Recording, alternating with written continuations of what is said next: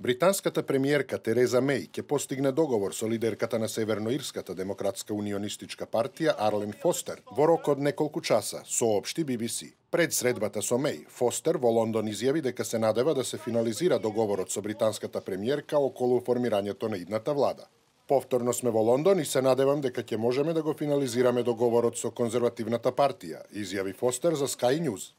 Постигнувањето на договорот меѓу Демократската унионистичка партија и Конзервативната партија минатата недела беше одложено поради пожар кој ја зафати Гренфел кулата во Лондон и бројни обврски на двете лидерки.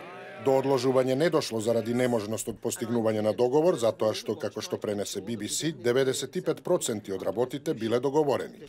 Откако конзервативците на Тереза Меј на предвремените избори на 8 јуни не освоија доволно пратенички места за сами да формираат влада, се покажа дека Демократската унионистичка партија, која освои 10 пратенички места, има најмногу шанси да биде партнер за формирање на коалициона влада.